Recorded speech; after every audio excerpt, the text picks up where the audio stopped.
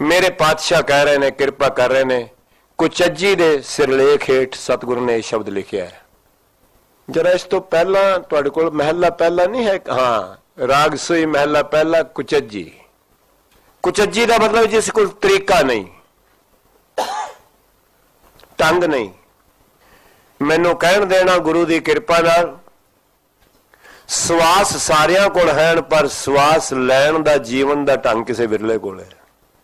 ਸਵਾਸ ਇੱਕ ਜਨਮ ਹੈ, ਬਸ ਇਸ ਤੋਂ ਅੱਗੇ ਨਹੀਂ। ਜੀਵਨ ਹੈ ਗੁਰੂ ਦੀ ਮੱਤ ਨਾਲ ਸਵਾਸ ਲਏ ਜਾਣ। ਧਨ ਬਹੁਤਿਆਂ ਕੋਲੇ, ਪਰ ਧਨ ਵਰਤਣਾ ਕਿਸ ਤਰ੍ਹਾਂ ਇਹ ਕਿਸੇ ਵਿਰਲੇ ਕੋਲੇ। ਮਨ ਸਾਰਿਆਂ ਕੋਲੇ, ਪਰ ਮਨ ਗੁਰੂ ਨਾਲ ਕਿਵੇਂ ਜੋੜਨਾ ਹੈ? ਤੇ ਕਿਸੇ ਵਿਰਲੇ ਕੋਲੇ। ਕਿਸੇ ਵਿਰਲੇ ਕੋਲ। ਤੇ ਜਿਨ੍ਹਾਂ ਕੋਲ ਨਹੀਂ, ਮੇਰੇ ਵਰਗਿਆਂ ਕੋਲ, ਫਿਰ ਉਹ ਕੁਚੱਜੀ ਨੇ।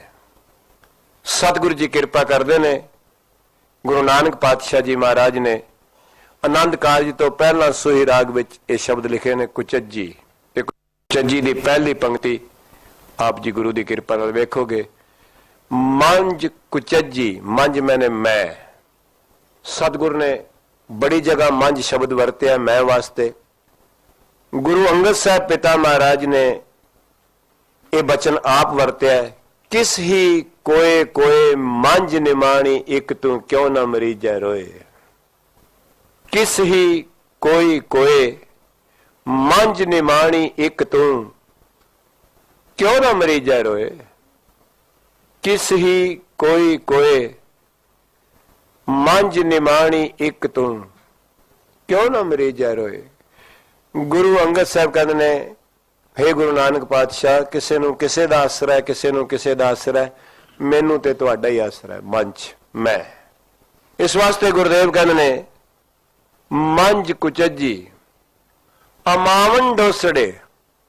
ਹੁਣ ਜੇ ਤੁਸੀਂ ਇਹ ਬੋਲੀ ਪੜ੍ਹੀ ਨਹੀਂ, ਸੁਣੀ ਨਹੀਂ, ਬੱਚਿਆਂ ਨੂੰ ਅੱਗੇ ਆਉਂਦੀ ਨਹੀਂ, ਗੁਰੂ ਗ੍ਰੰਥ ਸਾਹਿਬ ਨੂੰ ਕੀ ਸਮਝਣਾ ਅਮਾਵਨ ਦਾ ਮਤਲਬ ਹੈ ਮਿਉਂਦੇ ਵੀ ਨਹੀਂ, ਨਾ ਗਿਣੇ ਜਾਣ ਵਾਲੇ। ਇੰਨੇ ਮੇਰੇ ਵਿੱਚ ਦੋਸ਼ ਨੇ। ਡੋਸੜੇ ਮੁਲਤਾਨ ਦੀ ਭਾਸ਼ਾ ਦੋਸ਼, ਕਮੀਆਂ। ਮੰਜ ਕੁਚੱਜੀ, ਅਮਾਵਨ ਡੋਸੜੇ। ਅਮਾਵਨ ਜਿਹੜੇ ਮਿਉਂਦੇ ਵੀ ਨਹੀਂ, ਗਿਣੇ ਵੀ ਨਹੀਂ ਜਾਂਦੇ। ਜਿਹਨੂੰ ਪਾਤਸ਼ਾਹ ਨੇ ਬਾਣੀ ਵਿੱਚ ਆਖਿਆ ਕੇਤੇ ਗਣੋ, ਅਸੰਖ ਅਵਗੁਣ ਮੇਰਿਆ।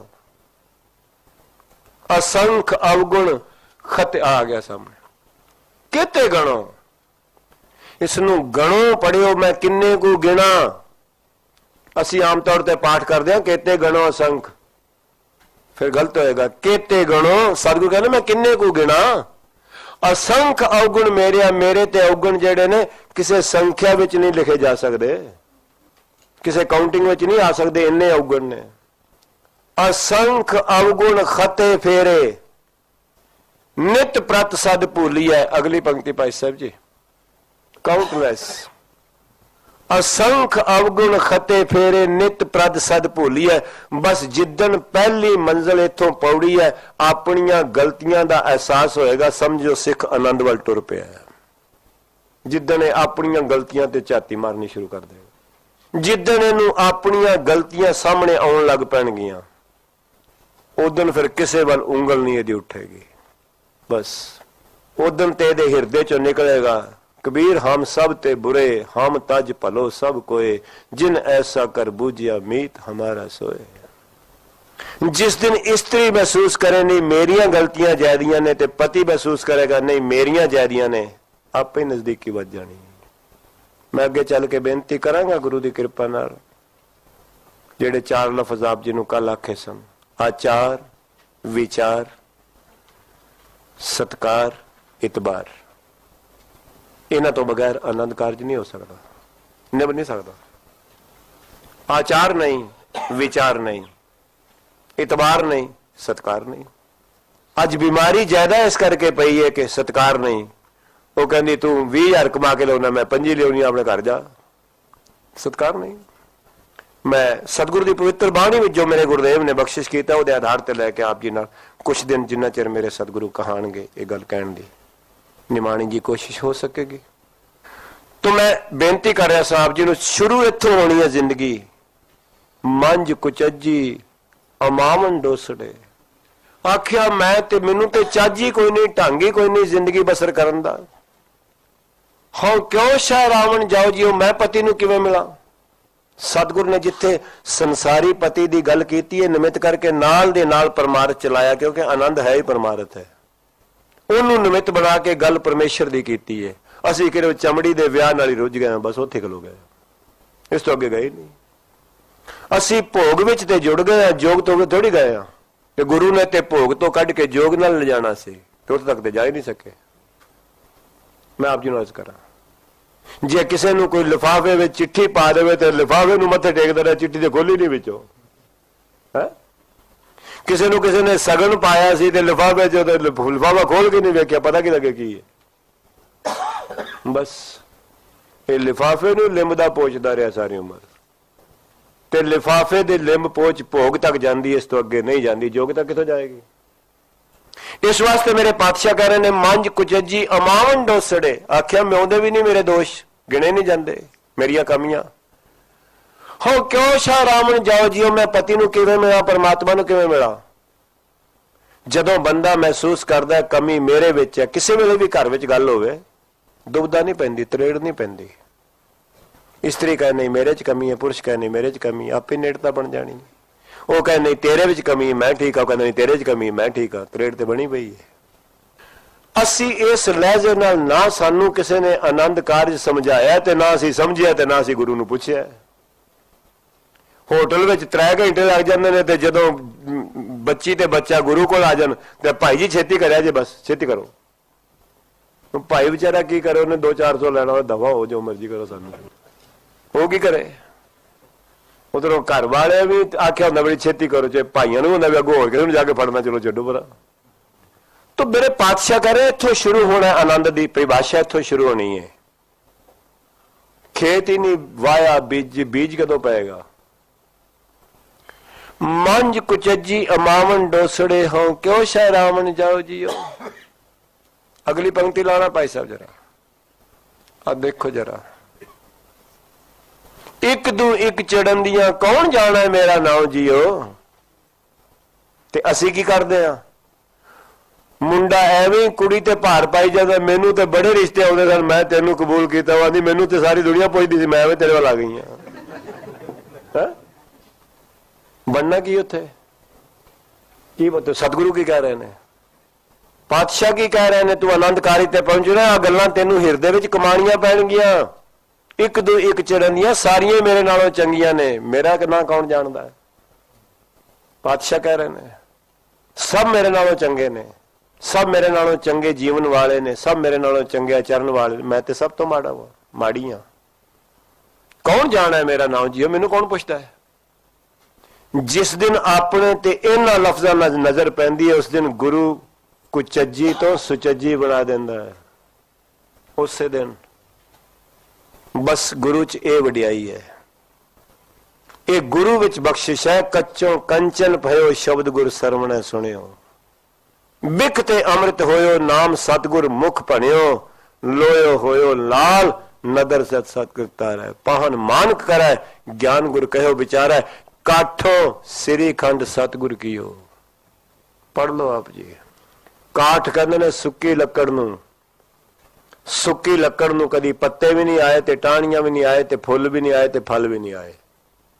ਪਰ ਗੁਰੂ 'ਚ ਇਹ ਤਾਕਤ ਹੈ ਜਿਹੜਾ ਜੀਵਨ ਬਿਲਕੁਲ ਵਿਕਾਰਾਂ ਦਾ ਸੁੱਕਾ ਹੈ, ਉਹਨੂੰ ਚੰਦਨ ਬਣਾ ਦਿੰਦਾ ਹੈ। ਸ੍ਰੀ ਖੰਡ ਚੰਦਨ ਨੂੰ ਕਹਿੰਦੇ ਨੇ। ਗਣਕਾ ਦਾ ਜੀਵਨ ਕਾਠ ਸੀ, ਚੰਦਨ ਬਣਾਇਆ ਨਾ ਗੁਰੂ ਨੇ, ਗੁਰੂ ਗ੍ਰੰਥ ਸਾਹਿਬ ਦਾ ਸ਼ਿੰਗਾਰ ਵੀ ਬਣ ਗਈ। ਅਜਾਮਲ ਦਾ ਜੀਵਨ ਕਾਠ ਸੀ। ਬਣਾਇਆ ਮਹਾਪੁਰਸ਼ ਨੇ ਕਿਰਪਾ ਕੀਤੀ। ਗੁਰੂ ਗ੍ਰੰਥ ਸਾਹਿਬ ਦਾ ਸ਼ਾਸਤਰਾਂ ਦਾ ਸ਼ਿੰਗਾਰ ਬਣ ਗਿਆ। ਇਹ ਗੁਰੂ ਵਿੱਚ ਤਾਕਤ ਹੈ ਕਿਉਂਕਿ ਸਤਿਗੁਰ ਦੇ ਰਾਰੇ ਨੂੰ ਸਿਆਰੀ ਹੈ। ਗੁਰੂ ਨੇ ਹੁਣ ਅੰਗਰੇਜ਼ੀ ਤੁਸੀਂ ਪੜ੍ਹਦੇ ਹੋ ਤੇ ਟ੍ਰਾਂਸਲੇਸ਼ਨ ਲਿਖਿਆ ਵੀ ਆਰਡੀਨਰੀ ਵੁੱਡ ਉਹ ਕੀ ਕਰੇ ਬੰਦਾ ਇਹਨੂੰ? ਹੈ? ਉਹਨਾਂ ਨੇ ਵਿਚਾਰਿਆਂ ਨੂੰ ਪਤਾ ਕਾਠ ਕਿਨੂੰ ਆਂਦੇ ਨੇ। ਕਾਠ ਸੁੱਕੇ ਬਾਲਣ ਨੂੰ ਆਂਦੇ ਨੇ। ਤੇ ਆਰਡੀਨਰੀ ਵੁੱਡ ਥੋੜੀ ਅਰਥ ਉਹਦਾ। ਉਹਨਾਂ ਨੂੰ ਪਤਾ ਵੀ ਪੜਨ ਵਾਲੇ ਵੀ ਗੋਈਓ ਜੀ, ਆਉਣੇ ਨੇ ਹੋਰ ਕੀ ਹੋਣਾ। ਜੋ ਮਰਜ਼ੀ ਲਿਖੋ, ਠੀਕ ਹੈ। ਹੈ? ਕਾਠ ਸ੍ਰੀ ਖੰਡ ਸਤਗੁਰ ਕੀਓ ਆਖਿਆ, ਗੁਰੂ ਸੁੱਕੀ ਹੋਈ ਲੱਕੜ ਨੂੰ ਬਾਲਣ ਨੂੰ ਚੰਦਨ ਬਣਾ ਸਕਦਾ ਹੈ। ਜਿਹੜਾ ਜੀਵਨ ਵਿਕਾਰਾਂ ਨਾਲ ਸੁੱਕ ਚੁੱਕਾ ਹੈ, ਮੁਰਝਾ ਚੁੱਕਾ ਹੈ ਉਹਦੇ ਵਿੱਚ ਗੁਣਾ ਦੀ ਖੁਸ਼ਬੂ ਭਰ ਸਕਦਾ ਗੁਰੂ। ਆਨੰਦ ਕਾਰਜ ਕਾਠੋਂ ਸ੍ਰੀ ਖੰਡ ਸਤਗੁਰ ਕੀਓ ਦੁਖ ਦਰਿਦਰ ਤਿਨ ਕੇ ਗਏ। ਸਤਗੁਰ ਚਰਨ ਜਿਨ ਪਰਸਿਆ, ਸੇ ਪਸ ਪ੍ਰੇਤ ਸੁਰ ਨਰ ਪਏ। ਇਸ ਤਰ੍ਹਾਂ ਗੁਰੂ ਕੁਚੱਜਿਆਂ ਨੂੰ ਸੁਚੱਜੇ ਬਣਾਉਂਦਾ ਹੈ।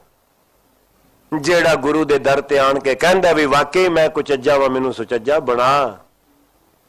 ਜਿਹੜਾ ਆਣ ਕੇ ਕਹਿੰਦਾ ਹੈ, ਸੱਚੇ ਪਾਤਸ਼ਾਹ, ਮੈਂ ਪਤੀ ਤਾਂ ਮੈਨੂੰ ਪਾਵਨ ਬਣਾ।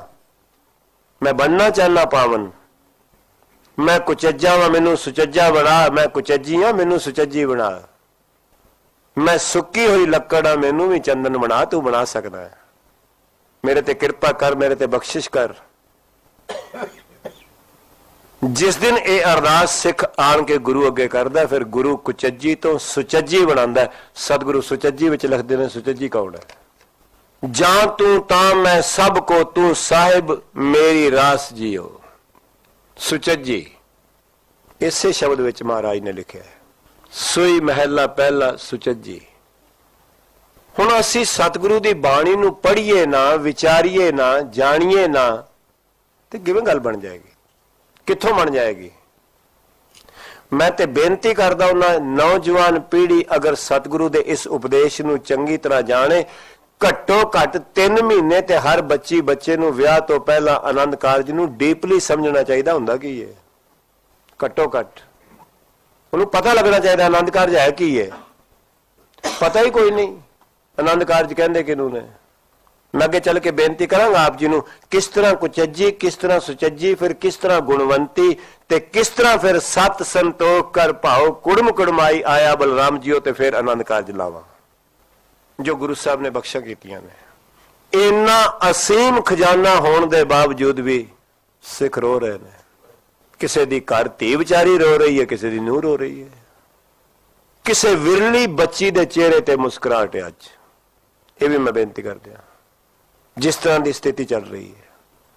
ਤੇ ਕਾਰਨ ਕੇਵਲ ਗੁਰੂ ਗ੍ਰੰਥ ਸਾਹਿਬ ਤੋਂ ਦੂਰੀ ਕੇਵਲ ਤੇ ਕੇਵਲ ਸਤਿਗੁਰੂ ਗੁਰੂ ਗ੍ਰੰਥ ਸਾਹਿਬ ਤੋਂ ਦੂਰੀ ਨਾ ਸਮਝੀ।